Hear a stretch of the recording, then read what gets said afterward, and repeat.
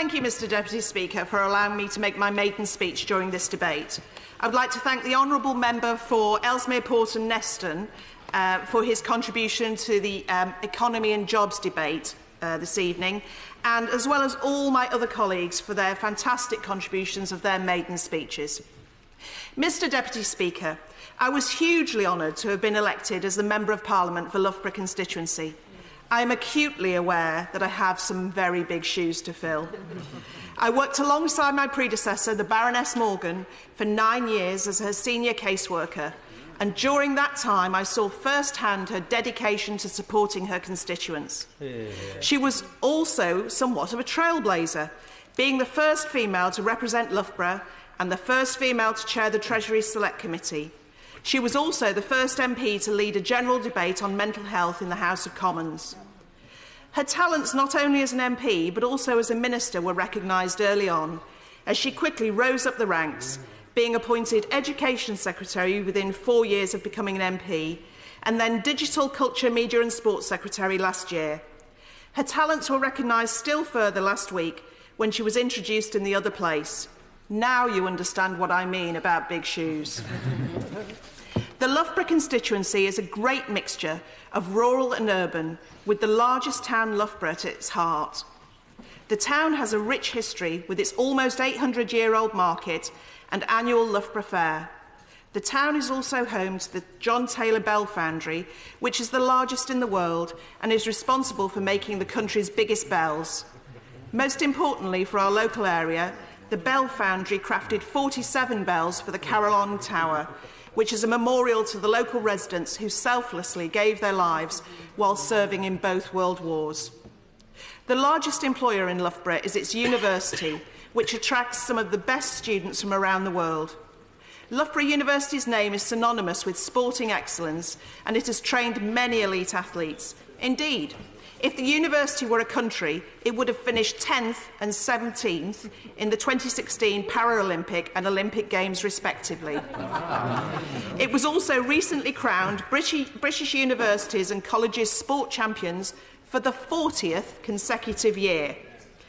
Athletes can benefit from the university's Altitude Hotel, which simulates sleeping conditions at any altitude up to Everest – even though Loughborough is only 154 feet above sea level. the university is also home to one of the UK's largest science and enterprise parks, which provides a research and development base for high-tech businesses of all sizes. This park is linked with the nearby Charnwood campus, which is the UK's first ever life science opportunity zone. Both these facilities help the town retain local talent, which is something I'm keen to facilitate further, as it is the key to driving inward investment to the constituency. To the west of the town is the close-knit close community of Shepshed, which originally grew as a centre for the wool trade – Today, it holds an annual Scare Sheet Festival, during which businesses, schools, and organisations create their own sheep themed scarecrows to raise money for local good causes.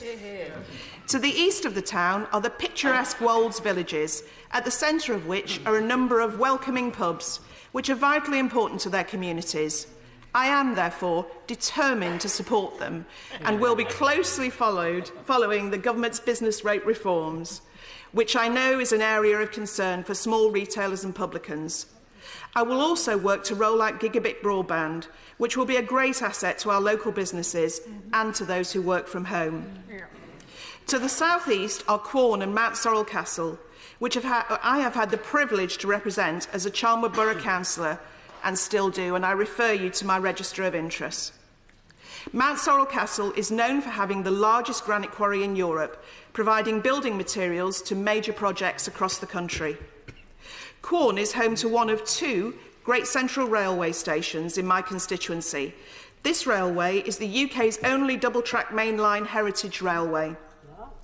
Nearby is Barrow upon Soar, which is famous for its marine dinosaur skeleton, a plesiosaur, which is known locally as the Barrow Kipper. There are also a number of beautiful countryside walks in the area, including the Fossil Sculpture Trail. In a constituency that is famed for sport, the people of Salby outdo themselves with teams for cricket, football, rugby, bowls, and even long lane skittles, which, you have, which if you have not seen, is both daring and adventurous, rather like the locals. both Barrow and Salby are large villages, but they turn into two islands when it floods. I am committed to addressing flood mitigation and regular maintenance of the waterways in the area, particularly around Slash Lane. To the north is the village of Haven, which was home to Robert Bakewell, who revolutionised the way in which livestock is bred, reflecting the area's important farming history. All that being said, it is the generous nature of local residents that led me to make my family home in Loughborough there in 1995 to raise my two children there and to become involved in the local community. Everybody there does. It's clear from street names that throughout the centuries there have been a great many people who have contributed to the area, either financially or in their actions, to help improve the lives of local residents. And this still runs like a golden thread throughout communities today. There are a great many street names, such as Griggs Road, Foden Close, Alan Moss Road, Herrick Road and Burton Street from longer ago. But more recently, three people I, I did know, Terry Yardley, Terry Yardley Way, was a Labour councillor and a lovely man. And then two of my absolute favourites, who both sadly passed away, Peter McCaig and the lovely Roy Brown of Sileby. All of which I saw, I, I knew and saw how much they did for their communities. Mr Deputy Speaker, I am tremendously proud to be representing Loughborough constituency. My social media tag is Team Loughborough and I feel, feel very much part of a team. Other members of our team work tirelessly to ensure that our young people have the skills they need to succeed and get on in life and that our local businesses can thrive and continue to compete on an international scale, that those who are unwell or in need of assistance receive care and support, and that people of all nationalities and religious beliefs feel at home in our area. Everybody has a part to play in Team Loughborough, and I look forward to playing my part. Yeah.